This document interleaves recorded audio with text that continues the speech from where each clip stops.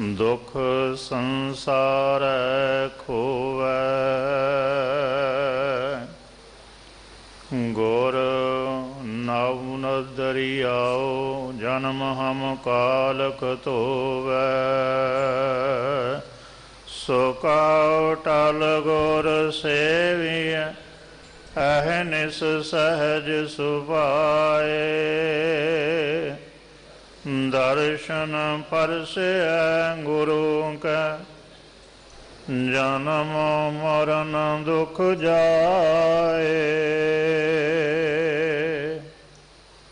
ਬਾਣੀ ਗੁਰੂ ਗੁਰੂ ਹੈ ਬਾਣੀ। ਵਿੱਚ ਬਾਣੀ ਅੰਮ੍ਰਿਤ ਸਾਰੇ। ਗੁਰ ਬਾਣੀ ਕਹਿ ਸੇਵਕ ਜਨ ਮਾਨੈ। ਪਰਤਖ ਗੁਰੂ ਨਿਸਤਾਰੇ ਵਾਹਿਗੁਰੂ ਜੀ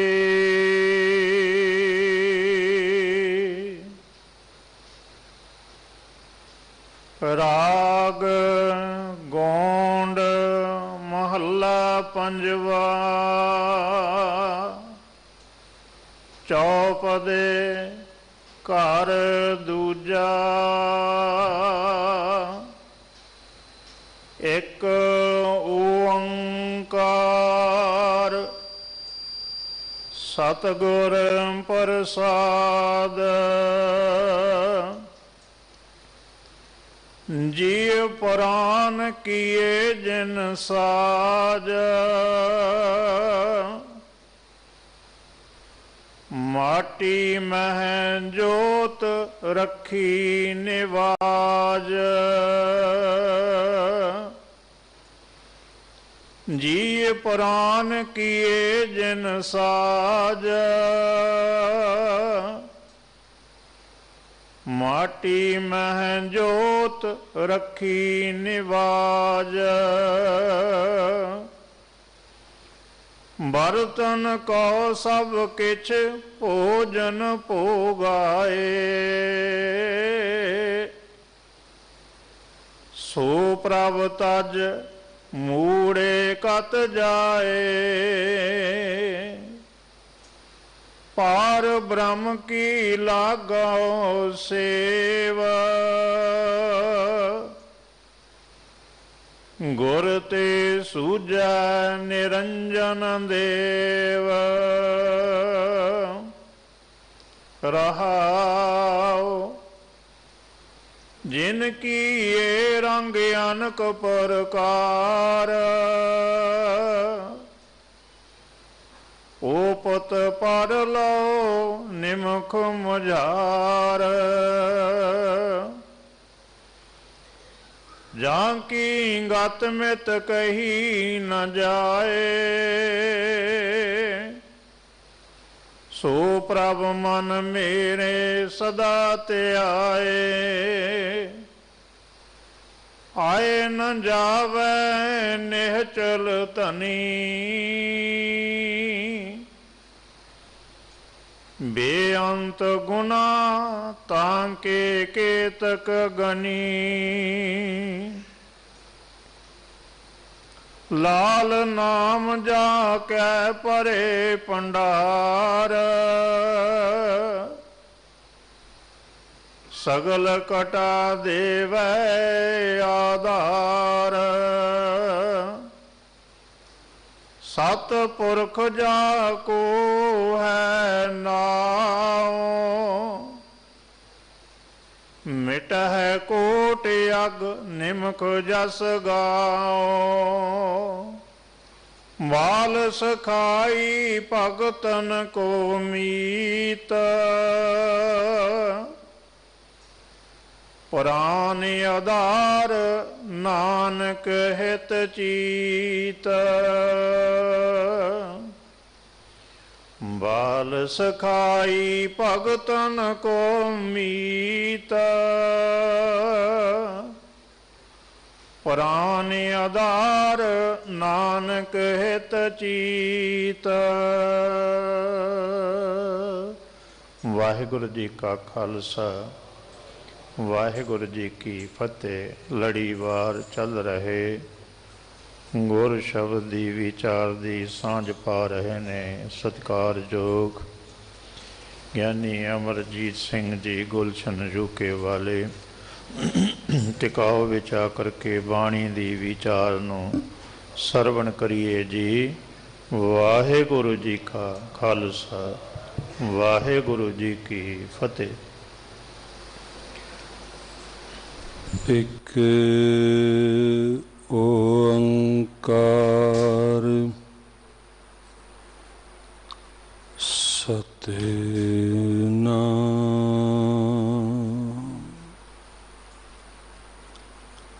ਕਰਤਾ ਪੁਰਖ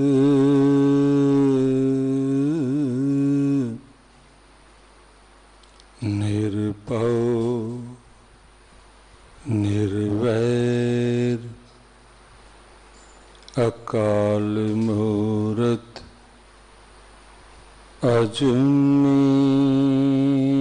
ਸੈਭੰ ਗੁਰ ਪ੍ਰਸਾਦ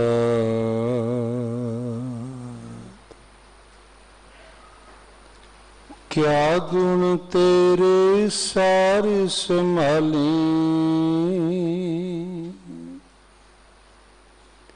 ਮੋਹਿ ਨਿਰਗੁਣ ਕੇ ਦਾਤਾ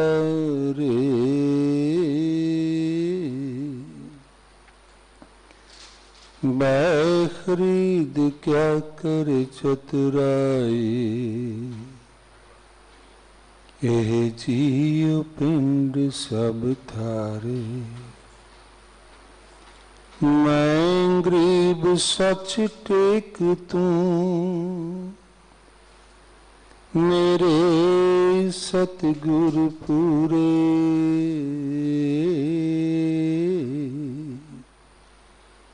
ਦੇਖ ਤੁਮਾਰਾ ਦਰਸ਼ਨ। ਮੇਰਾ ਮਨ ਤੀਰੇ ਡੰਡਾਉਤ ਬੰਧਨ ਅਨਕ ਬਾਰ ਸਰਬ ਕਲਾ ਸਮਰਥ।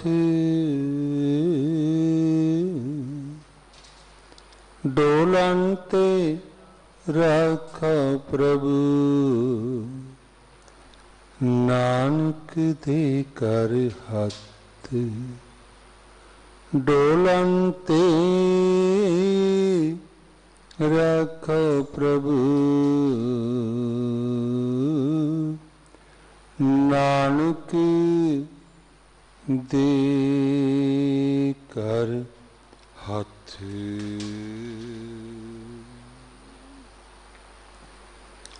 ਸਤਿਗੁਰੂ ਚਵਰ ਤਖਤ ਦੇ ਮਾਲਕ, ਵਾਲੀਏ ਦੋ ਜਹਾਨ ਕਲ ਜੀਵਾਂ ਦੇ ਉਧਾਰ ਕਰਤਾ ਜੁਗੋ ਜੁਗ ਅਟਲ, ਨਿਮਾਣਿਆਂ ਦੇ ਮਾਣ, ਨਿਤਾਣਿਆਂ ਦੇ ਤਾਣ, ਨਿਉਟਿਆਂ ਦੀ ਓਟ, ਸੱਚੇ ਵਾਹਿਗੁਰੂ ਜੀ ਦੀ ਪਰਮ ਜੋਤ, ਸਾਹਿਬ ਸ੍ਰੀ ਗੁਰੂ ਗ੍ਰੰਥ ਸਾਹਿਬ ਜੀ ਮਹਾਰਾਜ ਜੀ ਦੇ ਪਾਵਨ ਪਵਿੱਤਰ ਹਜ਼ੂਰੀ ਰੂਪੀ ਗੋਦ ਵਿੱਚ ਸੱਚ ਕੇ ਅਠਵੀਂ ਗੁਰੂ ਨਾਨਕ ਗੁਰੂ ਹਰਕ੍ਰਿਸ਼ਨ ਸਾਹਿਬ ਜੀ ਦੇ ਪਾਵਨ ਚਰਨਾਂ ਦੀ ਛੂ ਪ੍ਰਾਪਤ ਪਾਵਨ ਅਸਥਾਨ ਗੁਰਦੁਆਰਾ ਬੰਗਲਾ ਸਾਹਿਬ ਵਿਖੇ ਹਾਜ਼ਰੀਆਂ ਭਰਦਿਆਂ ਅੰਮ੍ਰਿਤ ਵੇਲੇ ਤੋਂ ਪਿਆਰੀ ਦੀ ਸਿਫਤ ਸਲਾਹ ਕਰਦਿਆਂ ਸਹਿਬਾਂ ਦੀਆਂ ਅਸੀਸਾਂ ਪ੍ਰਾਪਤ ਕਰ ਰਹੀ ਗੁਰੂ ਰੂਪ ਸਤ ਸੰਗਤ, ਵਡਿਆਈਆਂ ਆਪ ਜੀ ਨੇ ਕੀਤੀਆਂ ਨੇ, ਸਮਾਂ ਹੀ ਵਡਿਆਈਆਂ ਤੋਂ ਬਾਅਦ ਵਡਿਆਈਆਂ ਦੀ ਵਿਚਾਰ ਦਾ। ਗੁਰਸਿੱਖੀ ਦੀ ਇਹ ਮਹਾਨਤਾ ਹੈ ਕਿ ਪਾਰ ਬ੍ਰਹਮ ਹੋਆ ਸਹਾਈ, ਕਥਾ ਕੀਰਤਨ ਸੁਖਦਾਈ। ਕੀਰਤਨ, ਕੀਰਤੀ ਸਿਫਤ ਸਲਾ ਜਸ ਪ੍ਰਸ਼ੰਸਾ ਗਾਇਨ ਰੂਪ ਦੇ ਵਿੱਚ ਆਪ ਜੀ ਨੇ ਕੀਤਾ ਏ। ਆਓ ਸਹਿਬ ਜੀ ਦੇ ਪਾਸ ਹੁਣ ਲਈਏ ਅੱਜ ਦਾ ਲੈਸਨ। ਜੋ ਵਿਚਾਰ ਅਧੀਨ ਅੱਜ ਦਾ ਸ਼ਬਦ ਹੈ, ਲੜੀਵਾਰ ਚੱਲ ਰਹੀ ਕਥਾ ਦੇ ਮੁਤਾਬਕ, ਜਿਸ ਸ਼ਬਦ ਦਾ ਆਪ ਜੀ ਨੇ ਸਤਕਾਰਯੋਗ ਗੁਰੂ ਕੇ ਵਜ਼ੀਰ ਭਾਈ ਸਾਹਿਬ ਜੀ ਦੇ ਪਾਸੋਂ ਮੂਲ ਪਾਠ ਸਰਵਣ ਕੀਤਾ ਹੈ। ਗੁਰੂ ਗ੍ਰੰਥ ਸਾਹਿਬ ਜੀ ਦੇ ਪਾਵਨ ਅੰਗ 862 ਤੇ ਸੁਸ਼ੋਭਤ ਹੈ। ਗਰੀਬ ਨਵਾਜ਼ ਇਨ੍ਹਾਂ ਬਚਨਾਂ ਦੇ ਵਿੱਚ, ਇਸ ਸ਼ਬਦ ਦੇ ਵਿੱਚ ਸਾਨੂੰ ਕੀ ਕੀ ਗੁਣਾਂ ਦੀ ਪੂੰਜੀ ਬਣਾ ਕੇ ਤੁਰ ਰਹੇ ਨੇ। ਤੇ ਕਿਹੜੇ ਕਿਹੜੇ ਔਗੁਣਾਂ ਨੂੰ ਛੱਡ ਕੇ ਜਾਣ ਦੇ ਲਈ ਆਖ ਰਹੇ ਨੇ? ਆਓ ਕਰੀਏ ਸ਼ਬਦ ਦੀ ਵਿਚਾਰ ਪ੍ਰਾਰੰਭ। ਪਰ ਸਭ ਤੋਂ ਪਹਿਲਾਂ ਗੁਰੂ ਕੇ ਸ਼ਬਦ ਚਰਨ ਚੁੰਮਦਿਆਂ ਹੋਇਆਂ ਰਸਨਾ ਕਰੀਏ ਪਵਿੱਤਰ ਤੇ ਸਾਹਿਬ ਜੀ ਦੀ ਹੀ ਬਖਸ਼ਿਸ਼ ਫਤਿਹ ਦੁਆਰਾ ਆਪਾਂ ਸਾਰੇ ਹੀ ਆਪਸੀ ਸਾਂਝ ਕਰੀਏ, ਪ੍ਰੇਮ ਸਹਿਤ ਅਦਬ ਦੇ ਨਾਲ ਸਾਰੇ ਹੀ ਗਜਵਜ ਕੇ ਫਤਿਹ ਬੁਲਾਓ ਜੀ ਵਾਹਿਗੁਰੂ ਜੀ ਕਾ ਖਾਲਸਾ ਵਾਹਿਗੁਰੂ ਜੀ ਕੀ ਫਤਿਹ ਕਿਧਰੇ ਕੋਈ ਬਹੁਤ ਹੁਸੀਨ ਨਜ਼ਾਰਾ ਹੋਵੇ ਬਹੁਤ ਹੀ ਖੂਬਸੂਰਤ ਨਜ਼ਾਰਾ ਜਿਸ ਨੂੰ ਵੇਖ ਵੇਖ ਕੇ ਬੜੀ ਹੀ ਦੁਨੀਆ ਅਸ਼ ਅਸ਼ ਕਰ ਰਹੀ ਹੋਵੇ। ਪਰ ਉਸ ਜੁੜੀ ਹੋਈ ਭੀੜ ਦੇ ਵਿੱਚ ਕੋਈ ਵਿਚਾਰਾ ਐਸਾ ਵੀ ਹੋਵੇ ਜਿਹੜਾ ਕਿ ਅੱਖੀਆਂ ਦੀ ਜੋਤ ਤੋਂ ਸਖਣਾ ਏ। ਉਹ ਅੰਧਲਾ ਵਿਅਕਤੀ, ਉਹ ਬਲਾਈਂਡ ਪਰਸਨ ਸੋਚ ਸਕਦੇ ਹੋ ਕਿ ਅੱਖੀਆਂ ਤੋਂ ਬਿਨਾ ਭਲਾ ਕੀ ਦੇਖ ਸਕਦਾ ਹੈ। ਕੁਝ ਵੀ ਨਹੀਂ। ਸ਼ਬਦ ਕੀਰਤਨ ਹੁਣੇ ਹੁਣੇ ਚੱਲ ਰਿਹਾ ਸੀ। ਗੁਰੂ ਕੇ ਪਿਆਰੇ ਪਿਆਰੇ ਕੀਰਤਨੀਏ, ਬੜੇ ਹੀ ਵਜਦ ਵਿੱਚ ਆ ਕੇ ਕੀਰਤਨ ਕਰ ਰਹੇ ਸਨ, ਤਾਂ ਸੰਗਤਾਂ ਸ਼ਰਵਣ ਕਰ ਰਹੀਆਂ ਸਨ, ਸੁਣ ਰਹੀਆਂ ਸਨ। ਕੇਵਲ ਸੁਣ ਹੀ ਨਹੀਂ, ਬਲਕਿ ਨਾਲ ਨਾਲ ਗਾ ਵੀ ਰਹੇ ਸਨ। ਜਿਸ ਨੂੰ ਸੁਣਿਆ ਸੀ, ਗਾਉਂਦਿਆਂ ਹੋਇਆਂ ਨਾਲ ਨਾਲ ਝੂਮ ਵੀ ਰਹੇ ਸਨ। ਅਨੇਕਾਂ ਹੀ ਸੰਗਤਾਂ ਆਨੰਦ ਮਾਣ ਰਹੀਆਂ ਸਨ, ਪਰ ਕਿਧਰੇ ਜੁੜੀ ਹੋਈ ਸੰਗਤ ਦੇ ਵਿੱਚ ਕੋਈ ਵਿਚਾਰਾ ਐਸਾ ਹੋਵੇ ਜਿਹੜਾ ਕੰਨਾਂ ਤੋਂ ਬੋਲਾ ਹੋਵੇ। ਸੋਚ ਸਕਦੇ ਹੋ, ਕੰਨਾਂ ਤੋਂ ਸਖਣਾ ਬੋਲਾ ਵਿਅਕਤੀ ਭਲਾ ਕੀ ਸੁਣ ਸਕਦਾ ਹੈ? ਉਹ ਕਿਵੇਂ ਆਨੰਦ ਮਾਣੇਗਾ? ਉਹ ਕਿਵੇਂ ਝੂਮ ਸਕਦਾ ਹੈ? ਭਾਵ ਨਹੀਂ ਨਾ। ਕਹਿਣ ਤੋਂ ਮੁਰਾਦ, ਜਿਸ ਤਰ੍ਹਾਂ ਆਪਾਂ ਹੱਥਾਂ ਤੋਂ ਬਿਨਾ ਕੁਝ ਵੀ ਕਰ ਨਹੀਂ ਸਕਦੇ, ਪੈਰਾਂ ਤੋਂ ਬਿਨਾ ਚੱਲ ਨਹੀਂ ਸਕਦੇ, ਕੰਨਾਂ ਤੋਂ ਬਿਨਾ ਕੁਝ ਸੁਣ ਨਹੀਂ ਸਕਦੇ, ਜੀਵਾ ਤੋਂ ਬਿਨਾ ਕੁਝ ਬੋਲ ਨਹੀਂ ਸਕਦੇ, ਉਹ ਪਿਆਰਿਓ ਜਿਵੇਂ ਅੱਖੀਆਂ ਤੋਂ ਬਿਨਾ ਕੁਝ ਦੇਖ ਨਹੀਂ ਨਾ ਸਕਦੇ, ਠੀਕ ਇਸੇ ਤਰ੍ਹਾਂ ਹੀ ਸੱਚੇ ਸਤਿਗੁਰੂ ਜੀ ਦੀ ਸ਼ਰਨ ਆਏ ਤੋਂ ਬਿਨਾ ਇਸ ਭਾਵ ਸਾਗਰ ਤੋਂ ਵੀ ਪਾਰ ਨਹੀਂ ਜੇ ਹੋ ਸਕਦੇ। ਤਾਂ ਹੀ ਮੇਰੇ ਸਾਹਿਬ ਜੀ ਨੇ ਸਾਨੂੰ ਦੋ ਟੁਕ ਬੜਾ ਕਲੀਅਰ ਕੱਟ ਫੈਸਲਾ ਦਿੱਤਾ।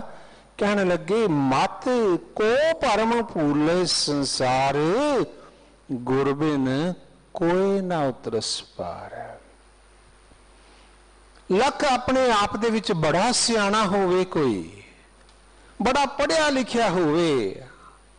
ਹਾਈ ਸਟੱਡੀਜ਼ ਉਸਨੇ ਕੀਤੀਆਂ ਹੋਣ, ਦੁਨੀਆ ਨੂੰ ਮੱਤਾਂ ਦਿੰਦਾ ਬੜਾ ਚਤਰ ਚਲਾਕ ਹੋਵੇ, ਪਰ ਲੱਖ ਸਿਆਣਪਾ ਹੁੰਦਿਆਂ ਹੋਇਆਂ ਵੀ ਨਾ, ਜੇਕਰ ਉਹ ਗੁਰੂ ਜੀ ਦੀ ਸ਼ਰਨ ਨਹੀਂ ਆਇਆ, ਪੂਰੇ ਸਤਿਗੁਰੂ ਦੀ ਸ਼ਰਨ ਆਏ ਤੋਂ ਬਿਨਾ, ਉਹ ਭਾਵ ਸਾਗਰ ਤੋਂ ਪਾਰ ਨਹੀਂ ਜੇ ਹੋ ਸਕਦਾ। ਮਤ ਕੋ ਪਰਮ ਪੂਲੇ ਸੰਸਾਰ, ਗੁਰਬਿਨ ਕੋਈ ਨਾ ਉਤਰ ਪਾਰ ਕਿਉਂਕਿ ਇੱਕ ਸਿਸਟਮ ਉਸ ਅਕਾਲ ਪੁਰਖ ਵਾਹਿਗੁਰੂ ਜੀ ਨੇ ਬਣਾ ਦਿੱਤਾ। There is no doubts the target of our life, ਸਾਡੀ ਜ਼ਿੰਦਗੀ ਦਾ ਜਿਹੜਾ ਏਮ ਹੈ ਟਾਰਗੇਟ ਹੈ, ਟੀਚਾ ਹੈ, ਮਨੋਰਥ ਹੈ, ਉਹ ਹੈ ਕਿ ਗੋਬਿੰਦ ਮਿਲਣ ਕੀ ਇਹ ਤੇਰੀ ਬਰੀਆ। ਹੁਣ ਉਹ ਵਾਹਿਗੁਰੂ ਤਾਂ ਦਿਖਾਈ ਹੀ ਨਹੀਂ ਦਿੰਦਾ। ਸਰੀਰਕ ਅੱਖੀਆਂ ਦੀ ਨਜ਼ਰ ਬਹੁਤ ਤੇਜ਼ ਹੋਣ ਦੇ ਬਾਵਜੂਦ ਉਹ ਦਿਸਦਾ ਨਹੀਂ, ਕਿਉਂਕਿ ਉਹ ਨਿਰਗੁਣ ਰੂਪ ਹੈ। ਪਰ ਉਸਨੇ ਜਿਹੜਾ ਸੰਸਾਰ ਦੀ ਰਚਨਾ ਕੀਤੀ, ਸਾਰੇ ਦਾ ਸਾਰਾ ਹੀ ਸਰਗੁਣੀ, ਅਸੀਂ ਵੀ ਸਰਗੁਣੀ, ਸੰਸਾਰੀ ਜੀਵਾਂ। ਸਾਡੇ ਸੰਸਾਰੀ ਜੀਵਾਂ ਦਾ, ਸਰਗੁਣੀ ਲੋਕਾਂ ਦਾ ਜੀਵਨ ਮਨੋਰਥ ਹੈ, ਉਸ ਪਾਰ ਬ੍ਰਹਮ ਵਾਹਿਗੁਰੂ ਨੂੰ ਪਾਉਣਾ।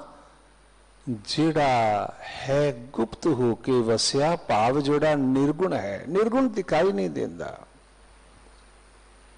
ਉਸ ਨੂੰ ਪ੍ਰਾਪਤ ਕਰਨਾ ਸਾਡੀ ਜ਼ਿੰਦਗੀ ਦਾ ਮਨੋਰਥ ਹੈ, ਪਰ ਹੁਣ ਜਿਹੜਾ ਦਿਸਦਾ ਹੀ ਨਹੀਂ ਉਸ ਨੂੰ ਕਿਵੇਂ ਮਿਲੀਏ? ਸੋ ਹਰ ਪੁਰਖ ਆਗਮ ਹੈ, ਕਹੋ ਕਿਤ ਬਿਦ ਪਾਈਐ। ਤਿਸ ਰੂਪ ਨਾ ਰੇਖ ਆਦਿਸ਼ਟ, ਕਹੋ ਜਨ ਕਿਉ ਤੇ ਆਈਐ ਨਿਰੰਕਾਰ, ਨਿਰੰਜਨ ਕਿਆ ਕਹਿ ਗੁਣ ਗਾਈਐ? ਕਿਵੇਂ ਪ੍ਰਾਪਤ ਕਰੀਏ? ਤਾਂ ਸਾਹਿਬ ਜੀ ਨੇ ਸਾਨੂੰ ਫਿਰ ਇੱਕ ਗੱਲ ਸਮਝਾਈ। ਕਹਿਣ ਲੱਗੇ, ਉਹ ਭਲਿਆ, ਉਸ ਪਾਰ ਬ੍ਰਹਮ ਵਾਹਿਗੁਰੂ ਨੇ ਇੱਕ ਸਿਸਟਮ ਬਣਾਇਆ ਹੀ ਤੁਰ ਖਸਮੇ ਕਾ ਹੁਕਮ ਪਾਇਆ ਕਿ ਬਿਨ ਸਤਗੁਰ ਚੇਤਿਆ ਨਾ ਜਾਏ। ਤੁਰ ਦਰਗਾਹ ਤੋਂ ਇਹ ਹੁਕਮ ਹੋ ਗਿਆ ਕੋਈ ਸ਼ੱਕ ਨਹੀਂ, ਹਰੇਕ ਜੀਵ ਦਾ ਕਲਿਆਣ ਤਾਂ ਹੈ, ਪਾਰ ਬ੍ਰਹਮ ਵਾਹਿਗੁਰੂ ਦੀ ਪ੍ਰਾਪਤੀ ਦੇ ਸਦਕਾ ਪਰ ਪਾਰ ਬ੍ਰਹਮ ਕਿਉਂਕਿ ਦਿਖਾਈ ਨਹੀਂ ਦਿੰਦੇ, ਇਸ ਲਈ ਨਿਰਗੁਣ ਹਰੀਆ, ਸਰਗੁਣ ਧਰਿਆ। ਨਿਰਗੁਣ ਨਿੰਕਾਰ ਨੇ ਸਰਗੁਣ ਸੰਸਾਰ ਦੇ ਜੀਵਾਂ ਦੇ ਉਧਾਰ ਦੇ ਲਈ ਸੱਚੇ ਸਤਿਗੁਰੂ ਸ਼ਬਦ ਗੁਰੂ ਗੁਰੂ ਗ੍ਰੰਥ ਸਾਹਿਬ ਜੀ ਦੇ ਅੰਦਰ ਆਪਣੀ ਜੋਤ ਟਿਕਾ ਦਿੱਤੀ ਹੈ। ਇਸ ਲਈ ਜੇ ਤੂੰ ਚਾਹੁੰਦਾ ਏ, ਤੇਰਾ ਭਵ ਸਾਗਰ ਤੋਂ ਪਾਰ ਉਤਾਰਾ ਹੋ ਜਾਏ। ਜੇ ਤੂੰ ਚਾਹੁੰਦਾ ਏ, ਤੂੰ ਪਾਰ ਬ੍ਰਹਮ ਵਾਹਿਗੁਰੂ ਦੇ ਵਿੱਚ ਸਮਾ ਜਾਏ। ਜੇ ਤੂੰ ਚਾਹੁੰਦਾ ਏ, ਤੇਰਾ ਜੀਵਨ ਸਫਲ ਹੋ ਜਾਏ, ਤੂੰ ਜੀਵਨ ਦੀ ਬਾਜੀ ਜਿੱਤ ਕੇ ਜਾਏ ਤਾਂ ਫਿਰ ਆ ਕੰਮ ਕਰ। ਸਤਿਗੁਰੂ ਜੀ ਦੀ ਚਰਨ ਸ਼ਰਨ ਆ ਜਾ। हे ਗੁਰਸਿੱਖ ਪਿਆਰਿਆ हे ਜਗਿਆਸੂ ਜਾਣ ਜੇ ਤੂੰ ਅੱਜ ਗੁਰੂ ਦੇ ਬਚਨ ਸੁਣ ਰਿਹਾ ਹੈ ਨਾ, ਗੁਰੂ ਦੀ ਸ਼ਰਨ ਆਏਗਾ, ਸਤਿਗੁਰਾਂ ਦੀ ਸ਼ਰਨ ਆਏਗਾ, ਤਾਂ ਇੱਕ ਦਿਨ ਆਏਗਾ ਤੂੰ ਪ੍ਰਭੂ ਦੇ ਵਿੱਚ ਸਮਾ ਜਾਏਗਾ। ਹੁਣ ਸਵਾਲ ਇੱਥੇ ਖੜਾ ਹੋਇਆ ਜੀ, ਕਿਵੇਂ?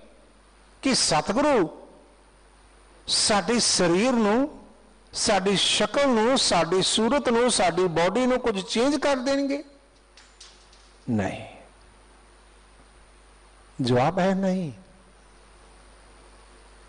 ਸਤਿਗੁਰੂ ਜੀ ਦੀ ਚਰਨ ਸ਼ਰਨ ਆਉਣ ਤੋਂ ਪਹਿਲਾਂ ਜੇ ਕਿਸੇ ਨਾਸਤਿਕ ਬੰਦੇ ਦੀਆਂ ਦੋ ਲੱਤਾਂ ਸਨ, ਐਸਾ ਨਹੀਂ ਕਿ ਜਦੋਂ ਆਸਤਿਕ ਬਣ ਜਾਏਗਾ ਜਾਂ ਗੁਰਮੁਖ ਬਣ ਜਾਏਗਾ ਫਿਰ ਉਸ ਦੀਆਂ ਤਿੰਨ ਹੋ ਜਾਣਗੀਆਂ ਜਾਂ ਚਾਰ ਬਾਹਾਂ ਬਣ ਜਾਣਗੀਆਂ। ਨਹੀਂ। ਅੱਖਾਂ ਵੀ ਨਹੀਂ ਵਧਣੀਆਂ।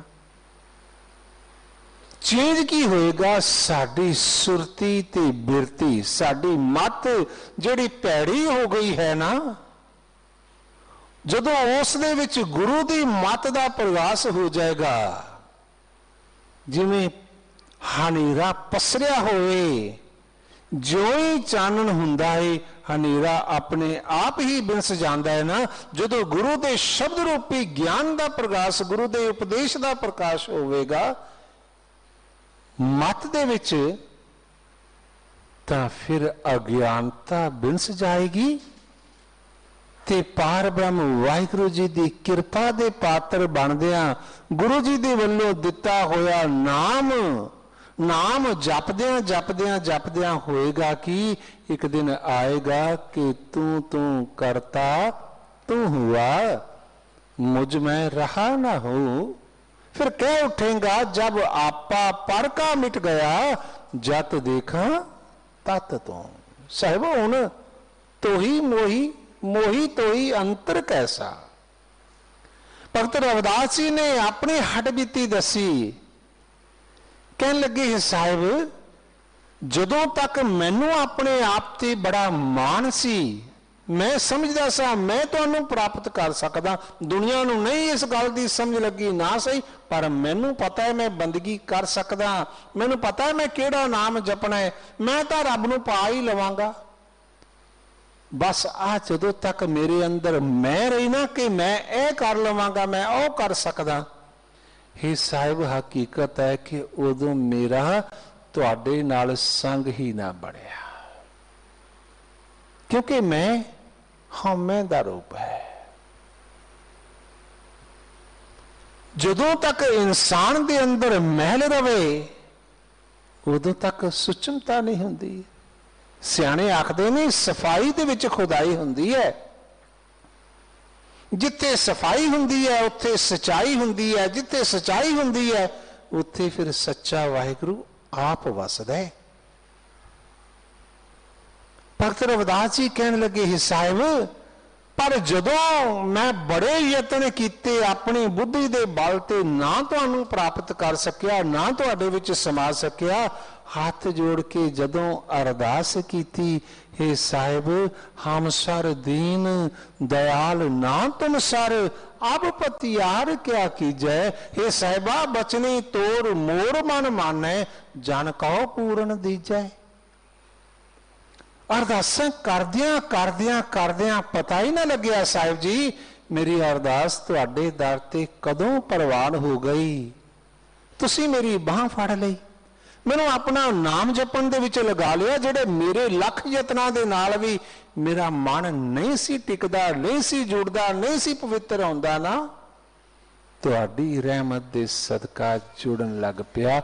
ਹੁਣ ਜੁੜਦਿਆਂ ਜੁੜਦਿਆਂ ਜੁੜਦਿਆਂ ਹੋਇਆ ਕਿ ਮੈਂ ਮੁੱਕ ਗਈ ਤੇ ਹੁਣ ਤੂੰ ਹੀ ਹੋ ਗਿਆ। ਜਬ ਹਮ ਹੋਤੇ, ਤਬ ਤੂੰ ਨਹੀਂ। ਜਬ ਹਮ ਹੋਤੇ, ਤਬ ਤੂੰ ਨਹੀਂ। ਅਬ ਤੂੰ ਹੀ, ਮੈਂ ਨਹੀਂ। हे ਸਾਹਿਬ, ਹੁਣ ਤਾਂ ਤੂੰ ਹੀ ਤੂੰ ਹੈ ਹੁਣ ਤਾਂ ਤੋਹੀ ਮੋਹੀ ਮੋਹੀ ਤੋਹੀ ਅੰਤਰ ਕੈਸਾ? ਕਣਕ ਕਟਕ ਜਲ ਤਰੰਗ ਜੈਸਾ ਪਰ ਇਹ ਕਿਵੇਂ ਹੋ ਗਿਆ ਸੱਚੇ ਸਤਿਗੁਰੂ ਜੀ ਦੀ ਚਰਨ ਸ਼ਰਨ ਆਉਣ ਦੇ ਸਦਕਾ ਕਿਉਂਕਿ ਗੁਰ ਜੈਸਾ ਨਾਹੀ ਕੋ ਦੇਵ ਜਿਸ ਮਸਤਕ ਭਾਗ ਸੋ ਲਾਗਾ ਸੇਵ ਸ਼ਬਦ ਦੇ ਕੇਂਦਰੀ ਭਾਵ ਦੇ ਵਿੱਚ ਗਰੀਬ ਨਵਾਜ਼ ਜੀ ਨੇ ਸਾਨੂੰ ਦੋਨੋਂ ਹੀ ਗੱਲਾਂ ਸਮਝਾਈਆਂ। ਅੱਜ ਰਹਾਉ ਦੀ ਭਾਵ ਪੂਰਤ ਸੈਂਟਰਲ ਆਈਡੀਏ ਦੀਆਂ ਤੁਕਾਂ ਦੇ ਵਿੱਚ, ਬਚਨਾਂ ਦੇ ਵਿੱਚ। ਗਰੀਬ ਨਵਾਜ਼ ਜੀ ਨੇ ਰਹਿਮਤ ਕੀਤੀ। ਕਹਿਣ ਲੱਗੀ, ਬੰਦਿਆ, ਜੇ ਤੂੰ ਜੀਵਨ ਸਫਲਾ ਕਰਨਾ ਚਾਹੁੰਦਾ ਹੈ ਨਾ ਆ ਦੋ ਕੰਮ ਕਰ। ਪਹਿਲਾ ਪਾਰ ਬ੍ਰਹਮ ਕੀ ਲਾਗੋ ਸੇਵ। ਪਾਰ ਬ੍ਰਹਮ ਵਾਹਿਗੁਰੂ ਜੀ ਦੀ ਪ੍ਰੇਮਾ ਭਗਤੀ ਰੂਪੀ ਸੇਵਾ ਦੇ ਵਿੱਚ ਜੁਟ ਜਾ। ਜਗਿਆਸੂ ਦੇ ਅੰਦਰੋਂ ਸਵਾਲ ਆਇਆ, ਸਾਹਿਬ, ਉਹ ਤਾਂ ਦਿਖਾਈ ਹੀ ਨਹੀਂ ਦਿੰਦੇ। ਪਾਰ ਬ੍ਰਹਮ ਵਾਹਿਗੁਰੂ ਤਾਂ ਦਿਸਦੇ ਹੀ ਨਹੀਂ।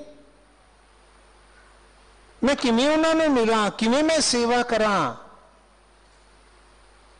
ਤਾਂ ਫਿਰ ਅੱਗੋਂ ਦੂਸਰਾ ਕੰਮ ਸਾਹਿਬ ਨੇ ਕਰਨ ਦੇ ਲਈ ਆਖਿਆ ਜਵਾਬ ਦਿੱਤਾ ਕਹਿਣ ਲੱਗੇ ਗੁਰ ਤੇ ਸੁਜੈ ਨਿਰੰਜਨ ਦੇਵ ਰਹਾਉ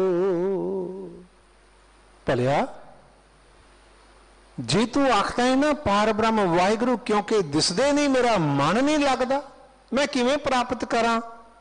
ਤਾਂ ਤੂੰ ਇਵੇਂ ਕਰ, ਗੁਰੂ ਦੀ ਚਰਨ ਸ਼ਰਨ ਚਲਾ ਜਾ, ਸੱਚੇ ਸਤਿਗੁਰੂ ਦੀ ਚਰਨ ਸ਼ਰਨ ਚਲਾ ਜਾ।